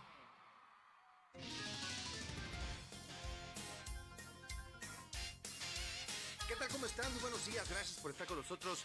Mi nombre es Víctor Monroy y en los próximos minutos vamos a hablar de deportes. Y es que vamos a comenzar con la NFL, que ya terminó el Super Bowl, por supuesto, pero siempre hay información posterior a este evento, sobre todo en términos de numeralia que va surgiendo. Y fíjense que la falta de espectáculo ofensivo entre los bucaneros de Tampa Bay y los jefes de Kansas City en el Super Bowl 55 llevó a que el juego por el campeonato fuera uno de los menos vistos desde el 2007. La transmisión original de CBS en Estados Unidos alcanzó un total de 96.4 millones de espectadores en todas las plataformas, la menor audiencia registrada desde eh, pues 2007 eh, cuando se enfrentaron los Colts de Indianapolis y los Osos de Chicago, cuya cifra fue de 93.1 millones de personas, de acuerdo con datos de Hollywood Reporter. De esta forma, el juego entre los Bucaneros y los Jefes fue visto en un total de 38.2% de los hogares de Estados Unidos, lo cual representa la primera vez que un Super Bowl cae, cae del 40% desde 1990. Así que, pues de las audiencias este, de los últimos Super Bowl, bueno, pues está eh, la edición 52, en ese duelo entre los, eh, las Águilas y los Patriotas que tuvo una audiencia de 103.4 millones. De ahí para el 53, Patriotas en contra de Rams con 100 siete millones de espectadores. En el 54 los jefes en contra de los 49 que se recuperaron un poquito y subió a 102 millones de espectadores. Y bueno, pues ahora resulta que esta, esta edición 55 llega a 96.4 millones de espectadores tan solo en, eh, en todas las plataformas. Y pues parece, parece que va a ser un número con el que tendrán que lidiar. Y bueno, pues quién sé qué habrá pasado. Tal vez el tema del este de la, llegada de Tampa Bay, que no es un equipo tan, tan famoso, tan con tantos adeptos en los Estados Unidos, pero que pues no se puede negar el imán que tiene Tom Brady. En fin, bueno, pues ahí están, ahí están los, los números. Más adelante vamos a platicar eh, de los Tigres que siguen, siguen generando mucha expectativa, mucha expectativa positiva en torno a su participación en el Mundial de Clubes. Gente como Mascherano, como Kaká, eh, hablaron acerca de las buenas impresiones que les dejó el conjunto de los Tigres, el conjunto eh, que dirige Ricardo Ferretti y por supuesto el papel de André Pierre Gignac. También le quiero platicar que el día de hoy se va a llevar a cabo el sorteo de la Liga de Campeones de la CONCACAF en la edición 2021. Recuerde, América, Cruz Azul, Rayados y León van a conocer ya a sus rivales, a sus rivales en los octavos de final de este sorteo que va a comenzar a jugarse a partir del mes de abril. Vamos también a platicar más adelante del Chucky Lozano, que hoy tiene actividad en las semifinales de la Copa de Italia. Atalanta están enfrentando al eh, equipo del Nápoles y si ganan, pues nada más y nada menos que van a estar enfrentando a la Juventus. Pero bueno, eso ya se lo platicaré mucho más adelante. Gracias, mi nombre es Víctor Monroy. Buen día.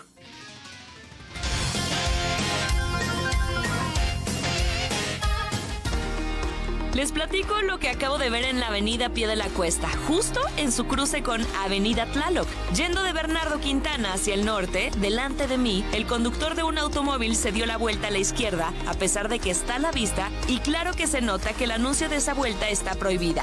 Causó un santo relajo, pues además de estar a punto de chocar con un auto que circulaba de norte a sur sobre Pie de la Cuesta, hizo que el camión de transporte público se detuviera para evitar un percance. ¿Cuál es la conclusión? Pues que deberíamos tener tantita cultura vial, ¿no? Es muy fácil echar culpas al gobierno sin responsabilizarnos de nuestros actos o poner de nuestra parte. Que la ciudad funcione en buenas condiciones depende del gobierno, pero también de nosotros, los ciudadanos, respetando los señalamientos y promoviendo la cultura cívica.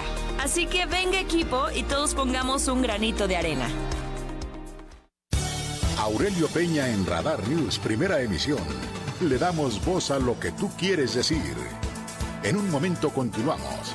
Radar 107.5 FM y Canal 71 de WIS. Radar en operación. En Querétaro, Radar TV. Por el Canal 71 de WIS. Conectando emociones.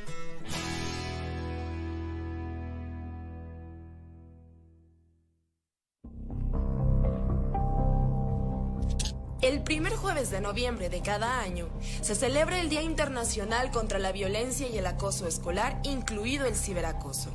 Con esto se busca acabar de una vez por todas con un tipo de violencia que afecta a la población infantil a nivel mundial y que provoca terribles secuelas psicológicas. Con esta fecha, la UNESCO busca reconocer que la violencia en el entorno escolar, bajo cualquier forma, atenta contra los derechos de los niños y adolescentes un problema que ha aumentado en un 40% en el último año, siendo víctimas uno de cada cuatro niños. Pero ¿qué se entiende por acoso escolar? El acoso escolar o también conocido como bullying es un hostigamiento permanente de una o más personas hacia un estudiante, donde por lo general se producen agresiones verbales y físicas sin haber una causa aparente para que ocurran semejantes hechos. Lamentablemente el maltrato escolar ha venido en aumento en los últimos años y muchos niños y jóvenes son víctimas de estas situaciones y que si no son detectadas a tiempo pueden tener consecuencias muy lamentables que inclusive pueden poner en riesgo sus vidas. Numerosos son los casos que conocemos donde la historia y el resultado son los mismos.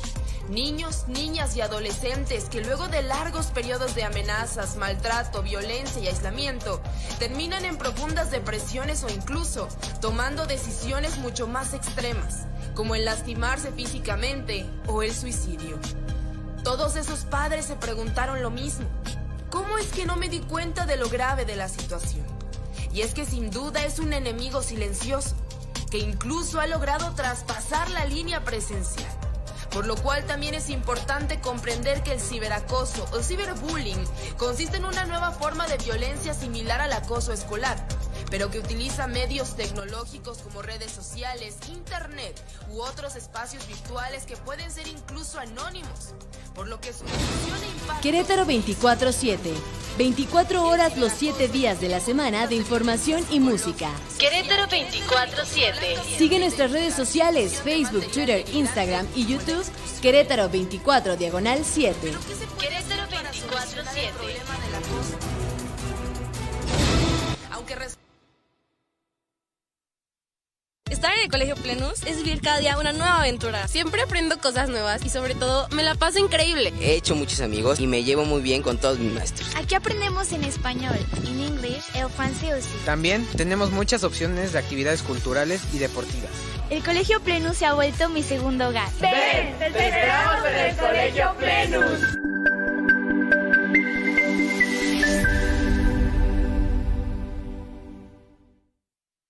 Mixco Coworking Querétaro.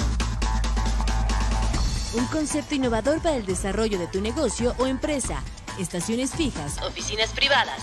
sala de juntas y servicio de cafetería con un diseño funcional y estético. A cinco minutos del centro de Querétaro. Muy importante Comunidad, que ver con la Secretaría de creatividad. Desarrollo Social y es que ya arrancó el programa de apoyo a la movilidad estudiantil. A ver, le platico de qué se trata.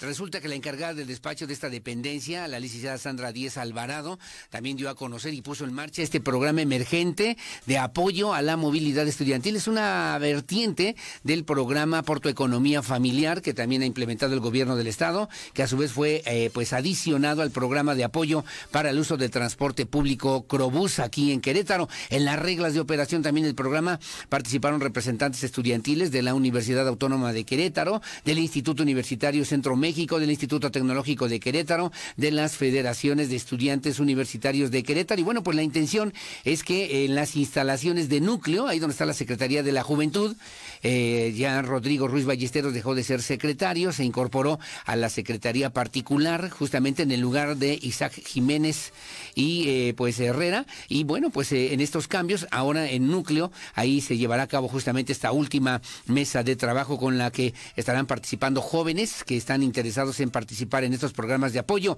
Le debo referir también a usted que eh, ahí el nuevo encargado, por lo menos también de la Secretaría de la Juventud, Francisco Mota Velasco Melgar, y los estudiantes estarán eh, platicando y hablando acerca de la forma y de la estrategia de los programas para apoyar a las y a los estudiantes universitarios que hacen uso del transporte público para realizar actividades inherentes a sus labores educativas consistentes en servicio social, prácticas profesionales. Podrán acceder los estudiantes de nivel medio superior y superior que se encuentran en el padrón de beneficiarios, de beneficiarios del programa de desarrollo social por tu economía familiar en esta vertiente de transporte público y que realizan, que realizan servicios sociales, prácticas profesionales y otras actividades inherentes a su inscripción, permanencia educativa de manera presencial. Cabe señalar, les decía Sandra Díez Alvarado, que los principales requisitos son estar inscritos, para que usted lo tome en cuenta, a los jóvenes sobre todo, están inscritos en el padrón de beneficiarios del programa de apoyo para uso del transporte público Crobús,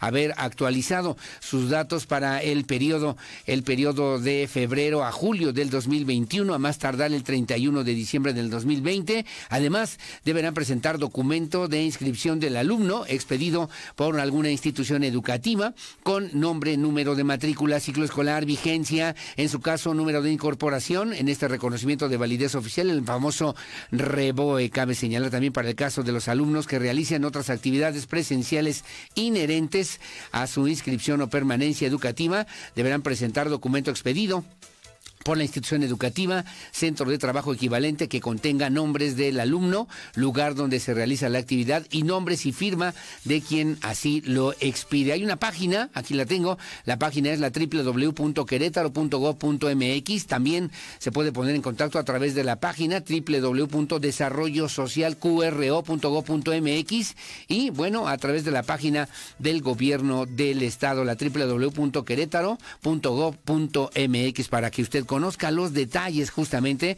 de esta convocatoria que me parece importante porque tiene que ver con un programa temporal de apoyo a la movilidad estudiantil aquí en el estado de Querétaro. Bueno, gracias. Son las 8 de la mañana con 27 minutos, 8.27, y en el municipio del Marqués Enrique Vega Carriles se entregó arcotecho, un arcotecho en el preescolar de Jesús María.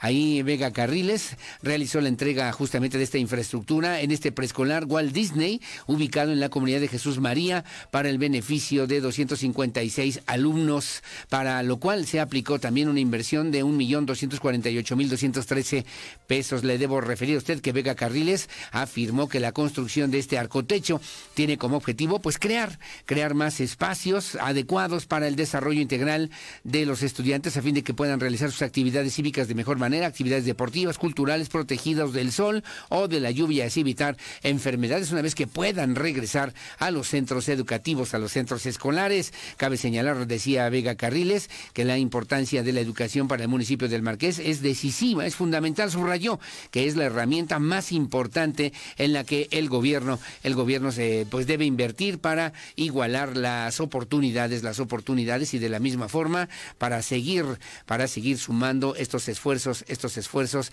que obviamente pues son importantes para dignificar más escuelas en el municipio del Marqués.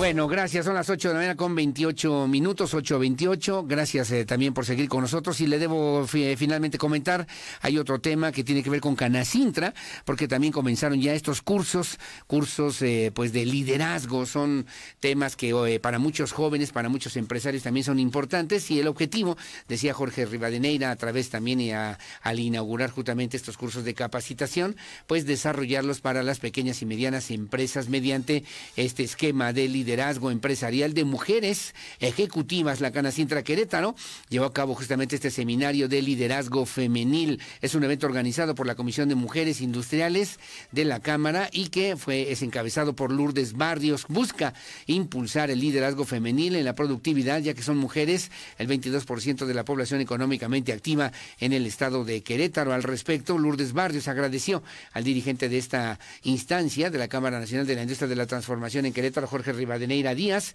quien dijo ha brindado todo su apoyo a las mujeres que buscan hacer crecer, buscan hacer crecer sus empresas eh, con apoyo a la economía, también a la economía local, así como eh, pues siguiendo las recomendaciones de la Secretaría de Desarrollo Sustentable, que ofrece, dijo, una gama importante de programas de apoyo para mujeres empresarias, mujeres emprendedoras aquí en el estado de Querétaro, que pues agradecieron justamente en este mismo reconocimiento y señalando la gran participación económica que obviamente tienen también las mujeres, las mujeres, eh, pues eh, para en este proceso también de modernización de Querétaro, pues atender esta cuestión que me parece también es importante. Ahí estaba Gabriel Figueroa García, él es director de Canacintra Querétaro, decía él que la experiencia, que la experiencia de las mujeres, la participación femenina específicamente en la vida económica, no solamente en el Estado, sino del país, pues agrega un ingrediente muy favorable para seguir apoyando a las mujeres para que permanezcan y eleven su competitividad en todas y en cada una de las empresas en las que pueden participar. Gracias por esta información y bueno, pues esto ahí en eh, Canacintra que obviamente es parte justamente de estos esquemas en el desarrollo en el desarrollo de Querétaro. Bueno, gracias, muy amable, gracias. Son las 8 de la mañana con 30 minutos, 8.30.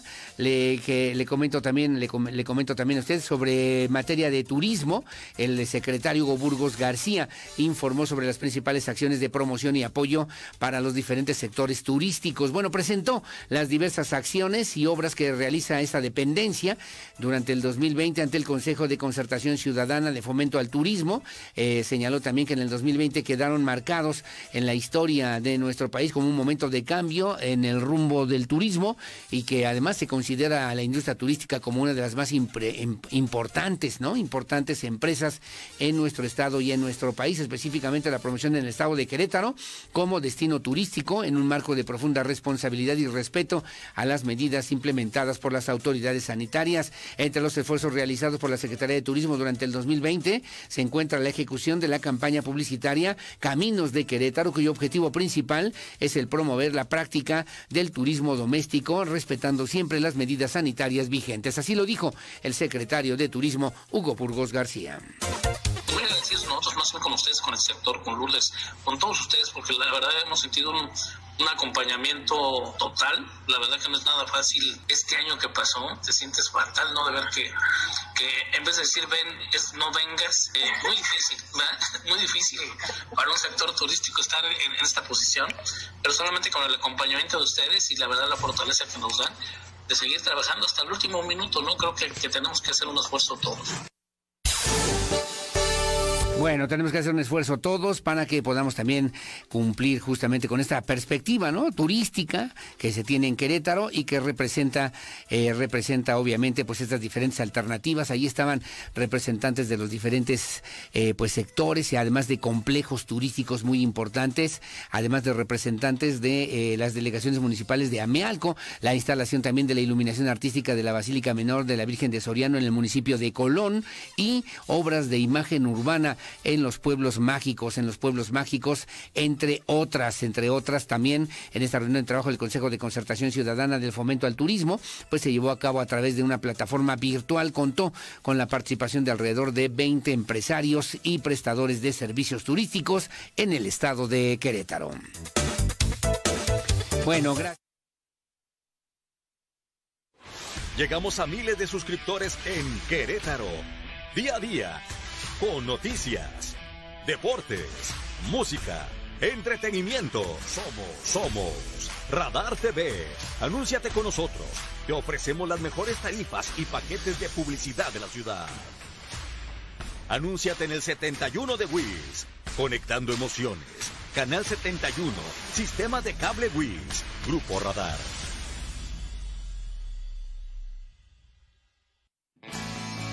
En Querétaro, Radar TV, por el canal 71 de WIS, conectando emociones.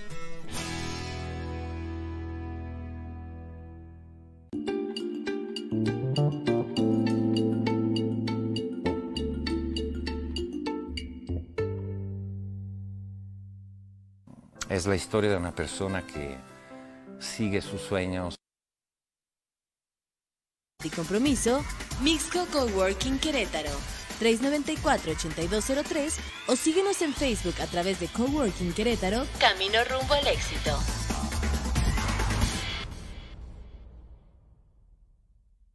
En el Marqués, estamos contigo. Aprovecha el 100% de descuento en multas y recargos de tu predial.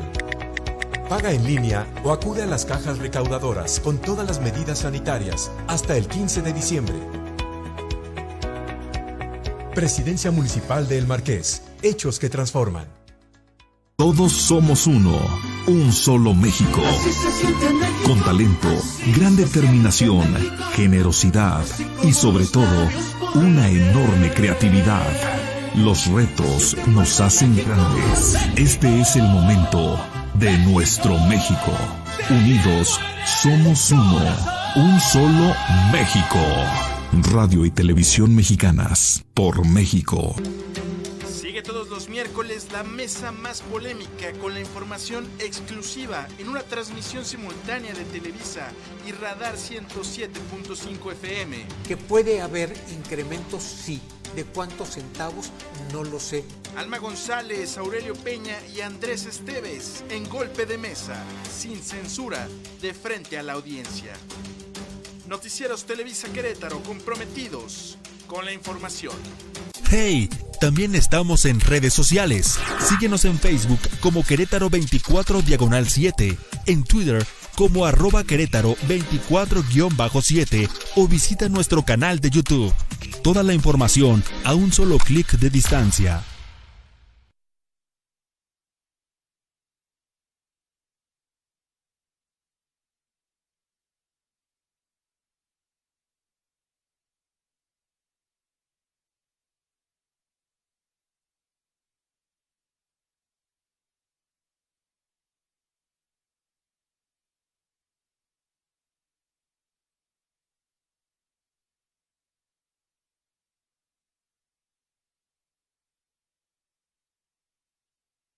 Compromiso, Mixco Coworking Querétaro. 394-8203 o síguenos en Facebook a través de Coworking Querétaro, Camino rumbo al éxito.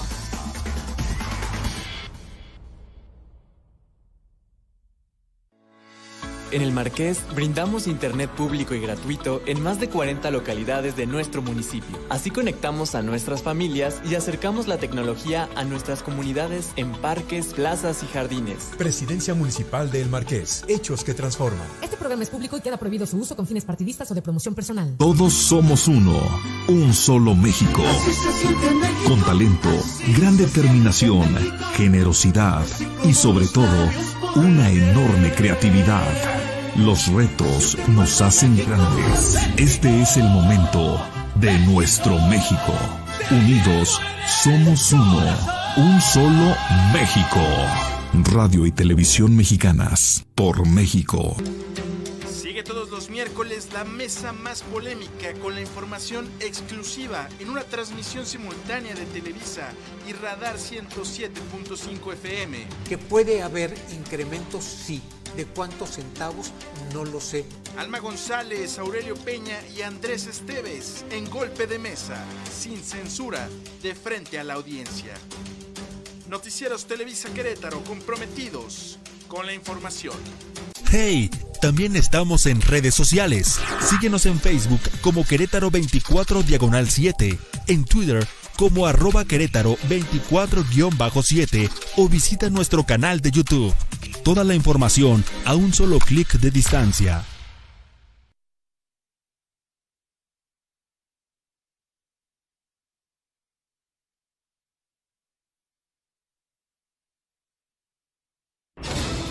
Querétaro 24-7.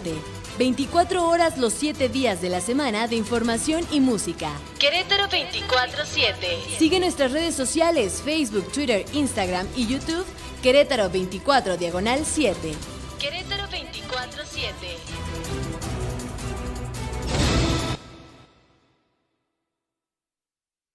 Estar en el Colegio Plenus es vivir cada día una nueva aventura. Siempre aprendo cosas nuevas y sobre todo me la paso increíble. He hecho muchos amigos y me llevo muy bien con todos mis maestros. Aquí aprendemos en español, en inglés, el francés. También tenemos muchas opciones de actividades culturales y deportivas.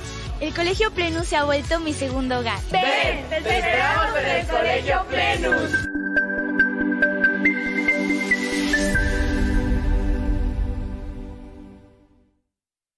Mixco Coworking Querétaro.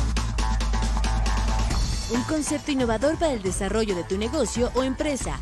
Estaciones fijas, oficinas privadas, sala de juntas y servicio de cafetería con un diseño funcional y estético. A 5 minutos del centro de Querétaro. Comunidad, creatividad y compromiso. Mixco Coworking Querétaro. 394-8203 o síguenos en Facebook a través de Coworking Querétaro. Camino rumbo al éxito.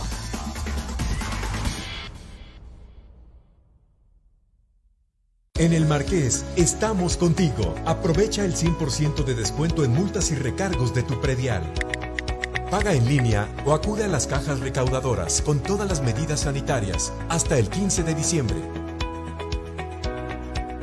Presidencia Municipal de El Marqués. Hechos que transforman. Todos somos uno, un solo México.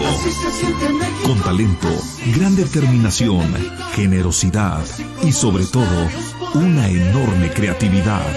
Los retos nos hacen grandes. Este es el momento de nuestro México. Unidos, somos uno, un solo México. Radio y Televisión Mexicanas, por México. Los miércoles la mesa más polémica con la información exclusiva en una transmisión simultánea de Televisa y Radar 107.5 FM. Que puede haber incrementos, sí. ¿De cuántos centavos? No lo sé. Alma González, Aurelio Peña y Andrés Esteves en golpe de mesa, sin censura, de frente a la audiencia. Noticieros Televisa Querétaro comprometidos con la información. Hey, también estamos en redes sociales. Síguenos en Facebook como Querétaro 24 Diagonal 7, en Twitter como arroba Querétaro 24-7 o visita nuestro canal de YouTube.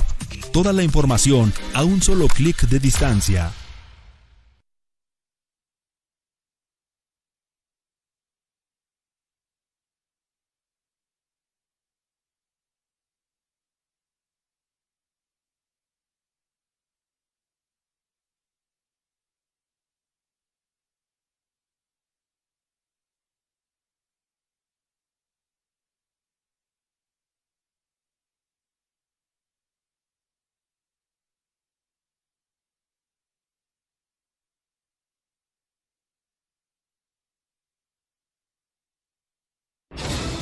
Querétaro 24-7.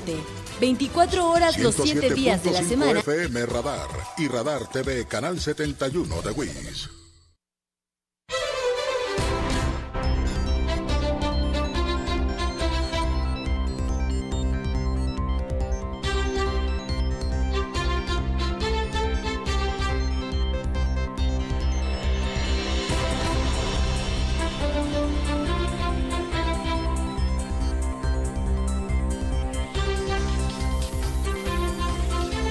¿Dónde andamos? ¿Dónde andamos, mi querido Pirru, verdad? Como siempre, muy amable. Gracias por su amable compañía. Gracias también a la gente que se comunica con nosotros. Me dicen también buen día. ¿Para cuándo será el momento y el tiempo en que la Comisión Estatal del Agua pueda darle solución a este registro frente al complejo, frente al complejo Santander, el cual sigue tirando aguas negras, además pestilentes y pueden convertirse y pueden ser un foco de infección. Ojalá que lo puedan revisar nuestros amigos de la Comisión Estatal del Agua.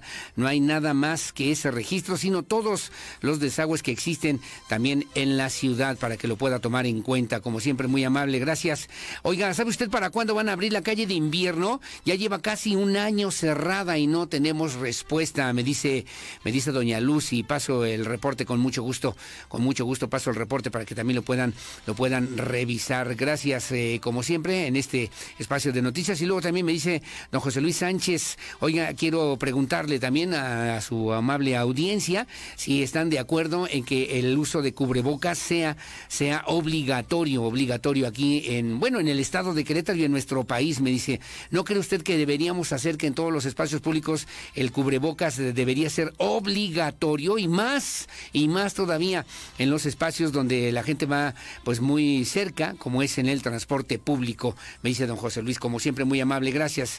Que tengan buenos días. Estamos al pendiente y atentos. Así que, bueno, pues invitarlo también el día de hoy a las 8.30 de la noche, golpe de mesa golpe de mesa con mi compañero Andrés Esteves, 8.30 de la noche, se transmite en Televisa Querétaro y también en la 107.5 de la frecuencia modulada. Y vamos a platicar con el arquitecto Gerardo Romero Altamirano, es el presidente del Consejo General del Instituto Electoral del Estado de Querétaro. Sus comentarios, sus opiniones, sus preguntas siempre son bienvenidas y siempre agradecemos infinitamente. Las 8.44 de la mañana. Bueno, lista, mi querida, mi querida Oli Lara, te saludo con muchísimo gusto. Tenemos espectáculos en esta mañana. Buenos días. Teatro, cine, conciertos. El show business en Querétaro en Radar News Entertainment.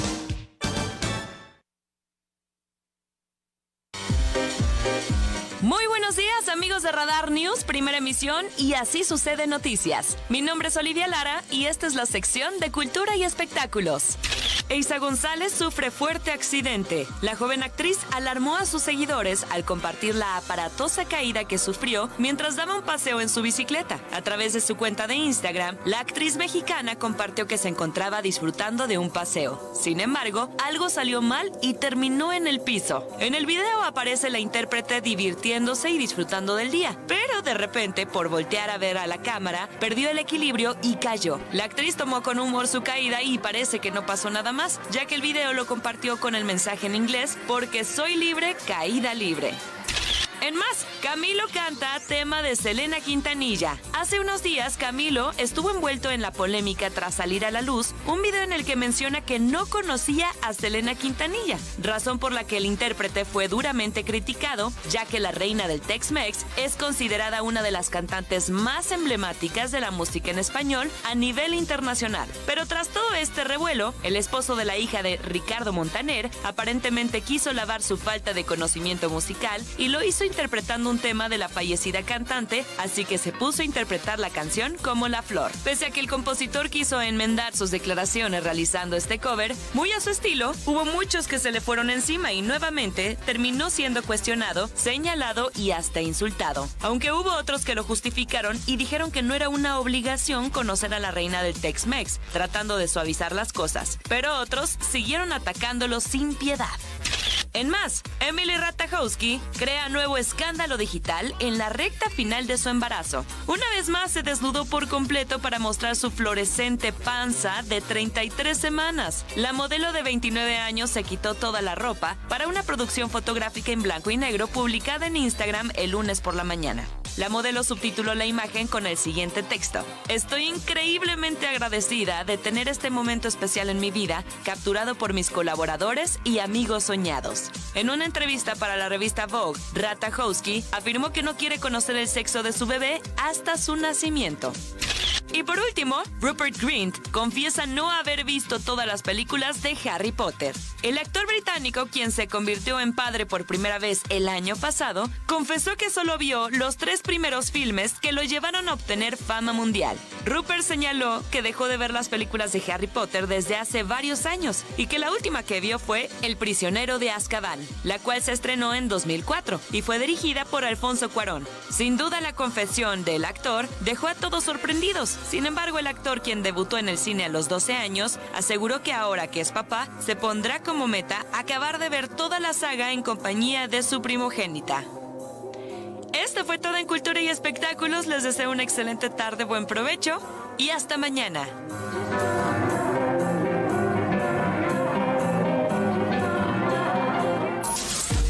Radar Entertainment.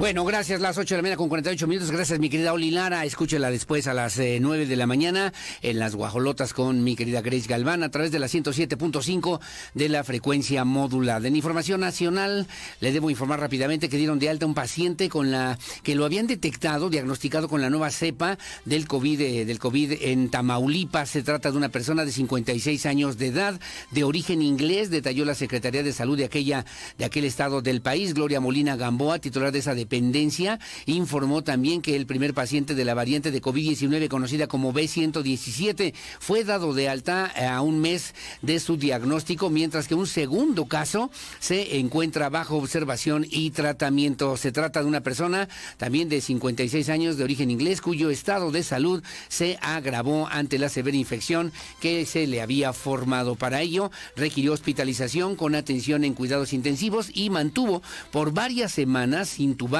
hasta que se logró formalmente su recuperación. Informaron, informaron eh, pues el titular, la titular del titular de la Secretaría de Salud en aquel eh, allá en Tamaulipas, Gloria Molina Gamboa.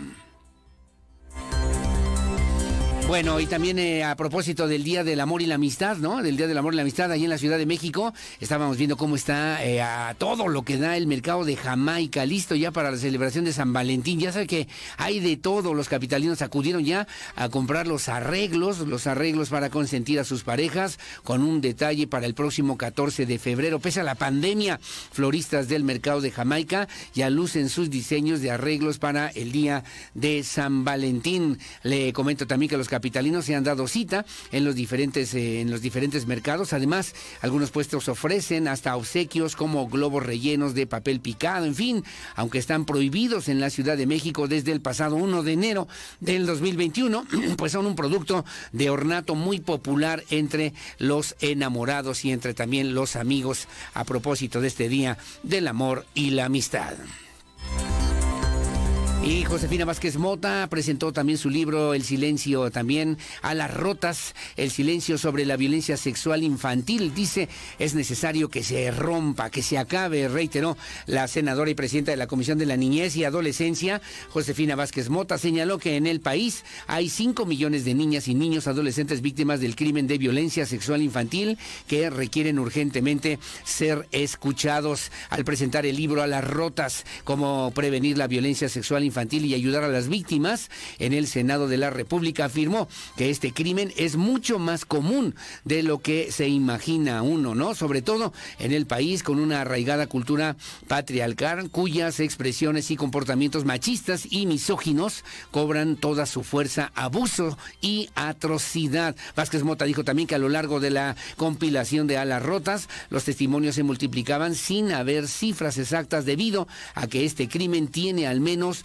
dos grandes aliados, el silencio junto con la secrecía y la impunidad, reiteró Josefina Vázquez Mota.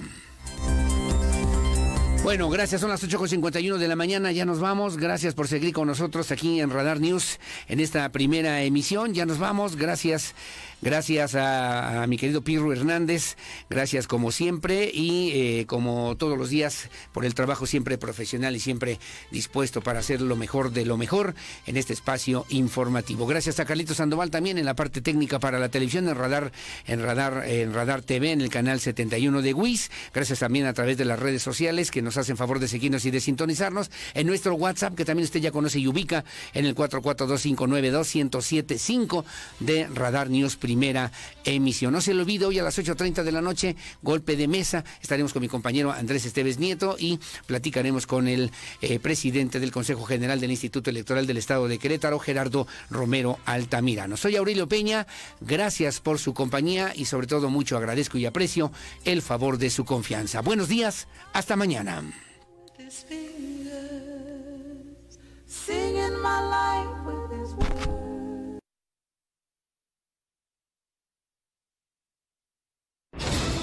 Querétaro 24-7. 24 horas los 7 días de la semana de información y música. Querétaro 24-7. Sigue nuestras redes sociales, Facebook, Twitter, Instagram y YouTube. Querétaro 24 Diagonal 7. Querétaro 24-7.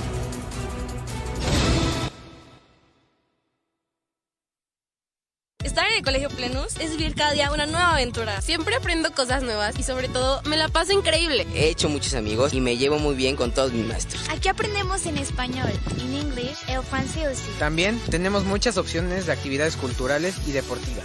El Colegio Plenus se ha vuelto mi segundo hogar. Ven, te esperamos en el Colegio Plenus.